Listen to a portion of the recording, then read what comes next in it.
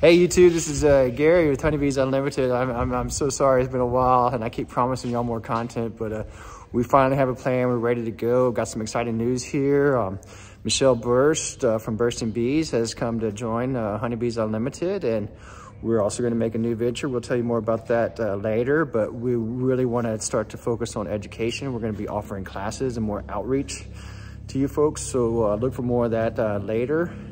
And with that, we also want to do uh, do more for this channel and more content. So uh, we're working on a plan to get y'all more regular content. And I wanted to introduce some of those characters. Uh, y'all have seen Michelle if y'all are fans of the channel and have seen her video, but um, um, I want to introduce uh, my brother, uh, Mike Barber, and uh, he's a partner in this business. And Michelle came on board with us, and I'll let each one of them tell a little bit about you, and then you'll see more from them in the future.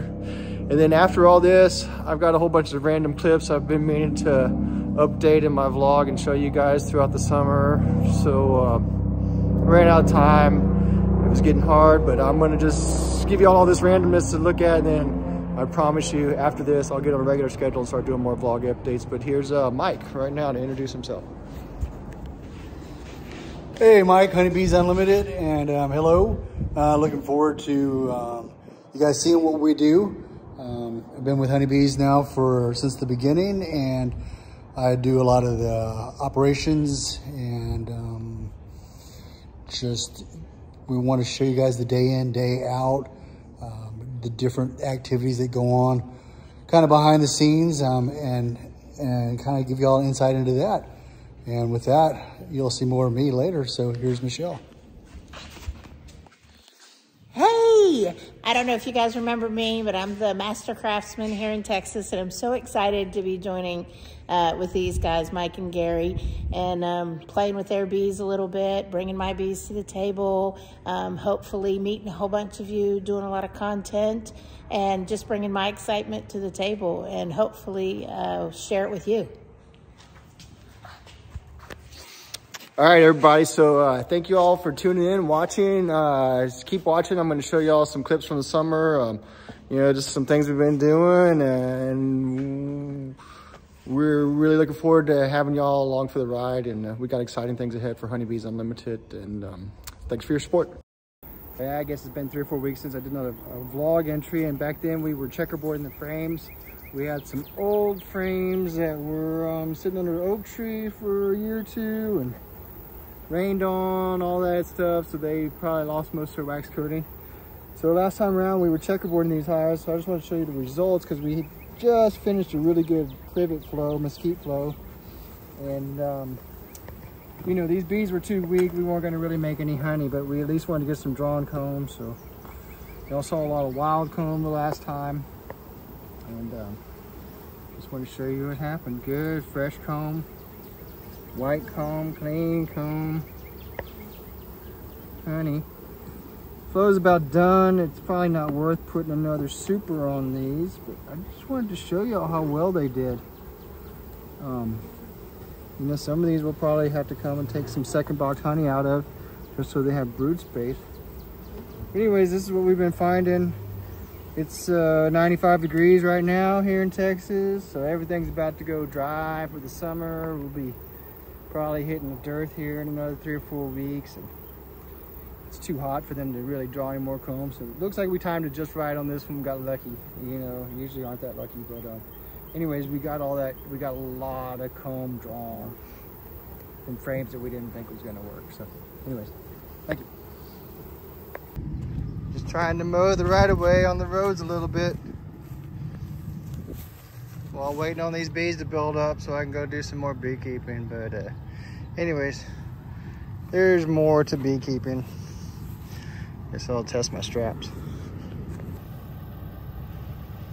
I love my truck. Didn't even have to get my feet muddy. Anything for the cause. She's gonna go give honey samples in her suit.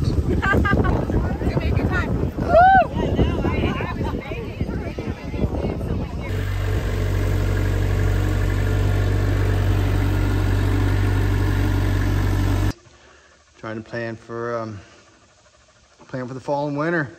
See what's going on. We finally stabilized, so I owe everyone an update. Um, we pulled a little bit of honey. Plan to get a uh, more comprehensive honey video out um, soon. We didn't make much here in our ag yards. The extreme heat came on really fast. I don't know, it's Saturday, all the guys are home, so today I'm playing mechanic because uh, if you're gonna be a beekeeper, or start it up on your own, um, you need to learn how to do some mechanicing skills and I am not a mechanic, so I'm learning how. Today I'm learning with the starter on our old faithful Bobcat. We use two loaders. We use an Avant because of its boom, so we can load the truck on one side. And this is our very first one, our Bobcat S130. But it's been starting rough lately. You gotta bang it with a hammer to get it to start. So I got a remanufactured starter from Bobcat. Hopefully I can get this done. It's a hundred and something degrees out there. So that's why I'm hanging out here in the shade and not out working bees. That's Bella. Give me a drink, Bella.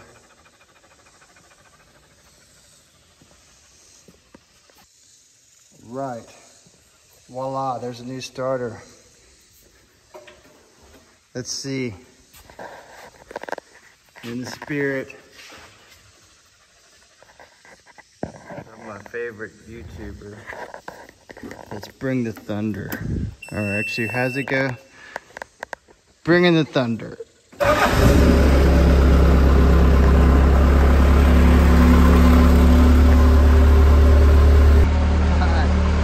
Change my first starter. All right, let's organize some stuff and we'll get the other loader um, serviced. Its hydraulics are in bad shape. Hi, good morning. It's uh, August 16th. See, we got a a new used truck. The GMC was finally uh, finally crapping out, so I traded it in. We needed something heavier duty. We also got rid of the Dodge. It's for sale. You can go to ntxtrucks.com uh, right now if you want to see about buying it. But um, yeah, I just want to tell you about this new truck. I don't know, it wasn't exactly like I wanted. It had some toolboxes here, here, you can see. So I've been cutting them off and grinding down. I got a little bit more to grind. I guess I should have thought of this as content sooner. And then later today, I'm gonna go to a friend. He's gonna help us with uh, these, these rub rails they're a little too narrow so that the strap buckle wants to roll out of them. So we want to make them deeper. So we're just going to cut these off. We also want to go the full length of the bed. Um, Because, you know, we do most of our strap and belly strap. I'm really not worried about this this one. It's um on our other trucks, we got I-beams right here. It's a better construction. It's, and so I'm, I'm more comfortable strapping front to back, but not with this setup. I might change it later or, or, test it out, see. But anyways, we had to put new tires on it. Um, new batteries. It's got 65,000 miles, so I figure it's just getting broken in so far. It's it's it's it's, it's a good truck. I put I don't know a thousand miles on it, and uh, everything's working great on it. So, anyways, I'm gonna get to grinding.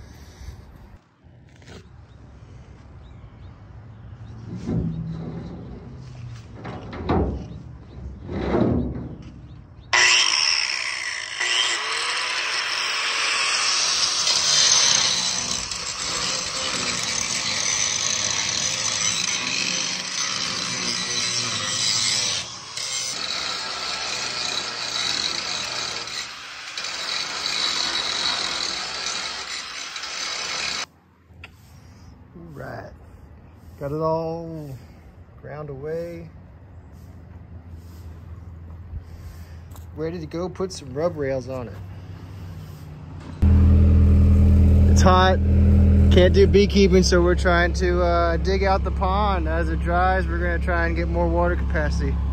But still a little too soft, so we'll try our kinetic energy Yankum ropes, see how they work.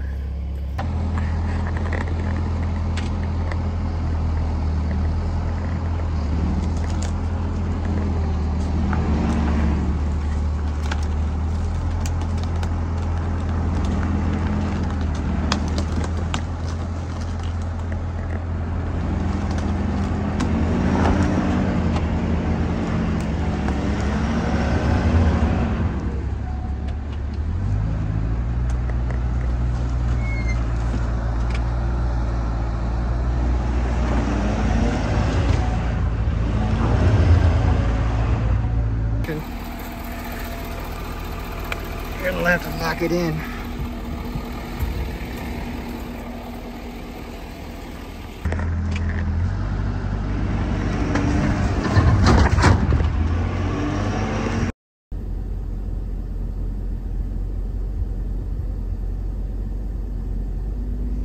I got the nice job. I get to dump on the trailer. Hey, hey, YouTube. Got the new rub rails put in the truck. We went two inches out because we had some extra room so we can get to our eight foot six and we're still good. We went with a heavier, heavier gauge. We like the straplers. Anyways, it's coming out. We didn't know how to deal with this here, so we just put a little D-ring. Came out really good. Our friend Todd, oh, I don't like that. I have to redo that. Came through with this, so now it's gonna be another hot one here in Texas today. We're not extreme, but I think we're still getting up to 100 and we're gonna start making rounds again next week. So I'm gonna go get 300 gallons of uh, syrup. Joy. I don't know if you guys ever get to Dadant in Paris, Texas, or Dedant, or Ded I don't know how you say it. But anyways, this place here in Paris, really looking good. It's always fun to walk around this old warehouse. Anyways, just got here. Talk to the people inside. Heading back over here. We're going to get get some syrup. Filling up the tanks.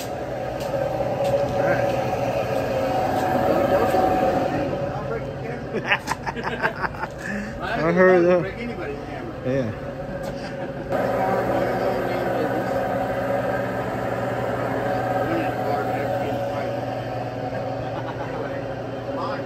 Hey YouTube, this is Gary of Honeybees Unlimited. Sorry it's been a while since I've updated you guys. Uh, it's been hot as hell here in Texas. I think it's gonna be 108 today. We've been uh, feeding bees, because as you can imagine, we're in a pretty good dearth right now, but uh, bees are hanging in there. Get them through the next six weeks and we can start building them up for winter.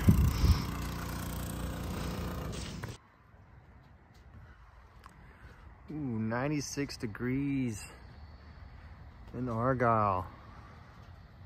Beautiful sky. Terrible night to move some bees.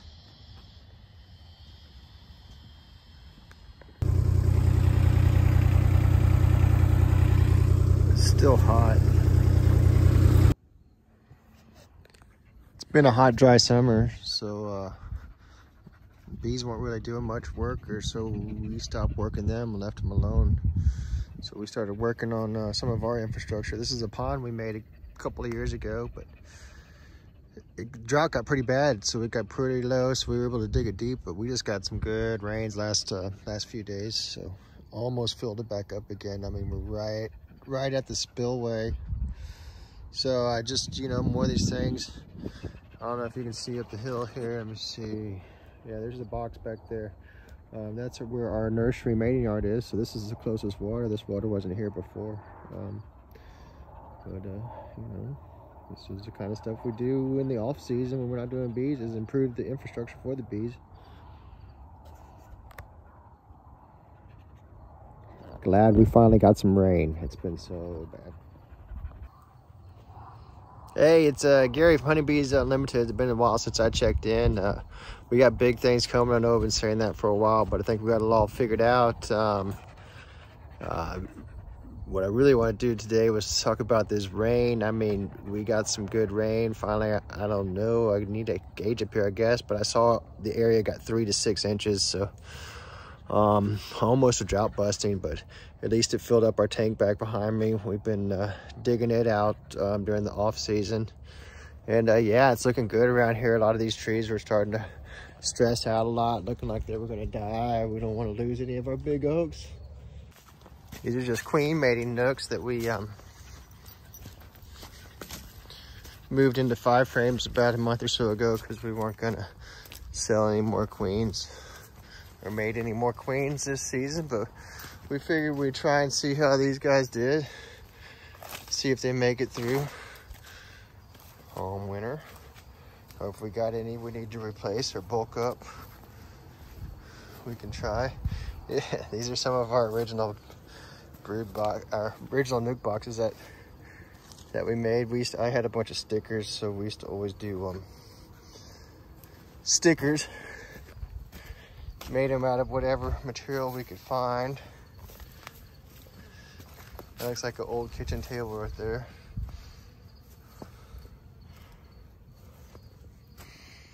Anyways, this is our mating yard, our main one.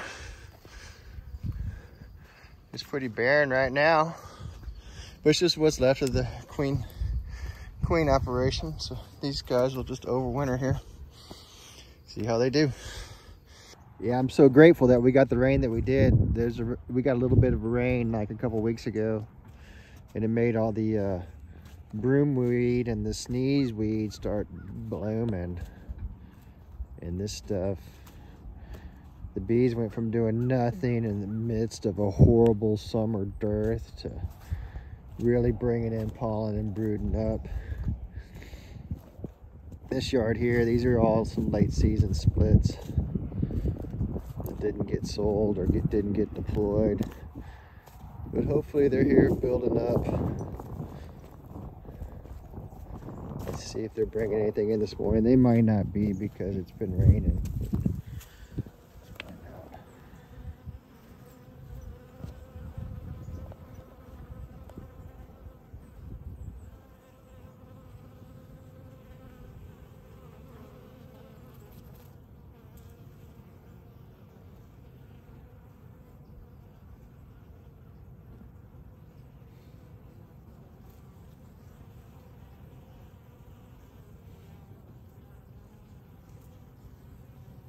Yeah, of course, I'm not seeing them bringing anything today, but yeah, we had some pretty good rains. It's probably washed off all this round of pollen, so we'll have to wait for the next round.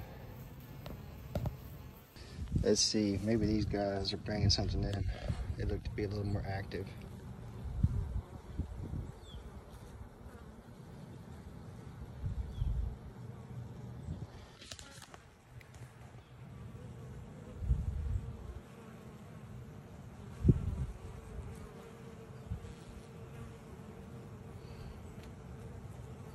There's some pollen. One bee. It was really light. It wasn't that broom we were sneezing. I don't know what the, maybe some aster.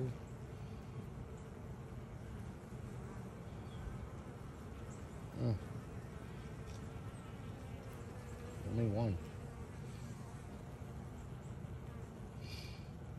Yeah, there just must not be anything out right now.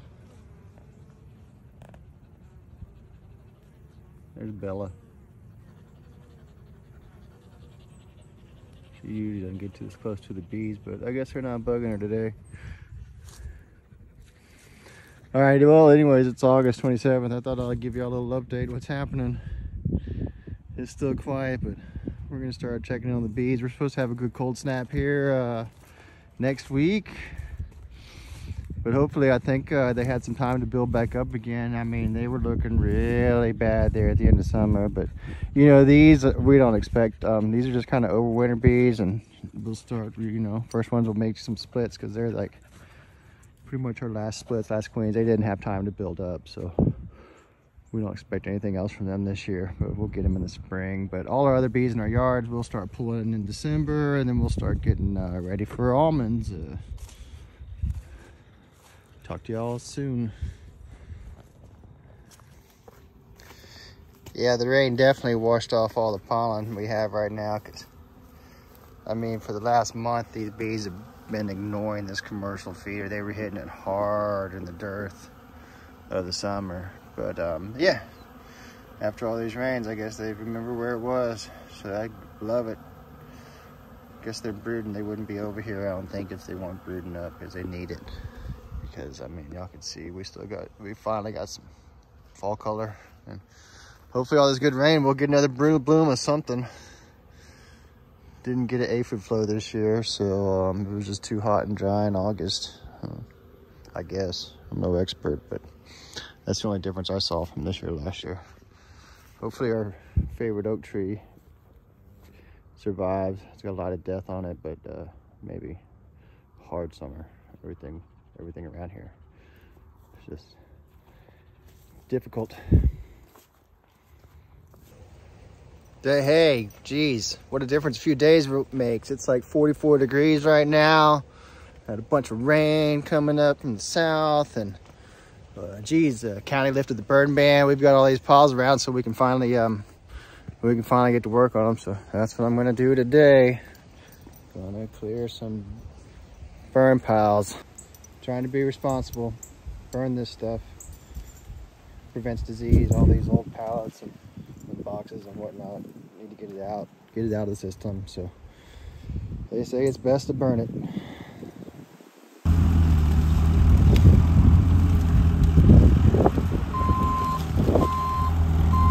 It's too cold to be in the hives.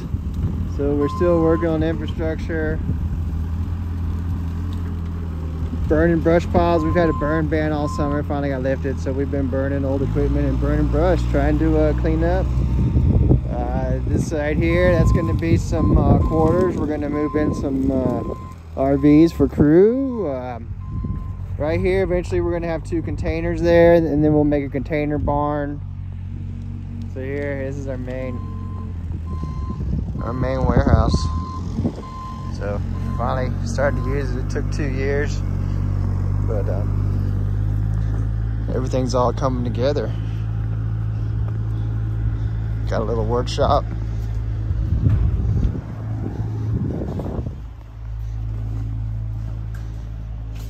Martell's working on some honey honey displays. New van. Avant mower, four-way pallets, jesters, lids, boxes, foundation, feeders. Finally got everything out of the weeds and uh,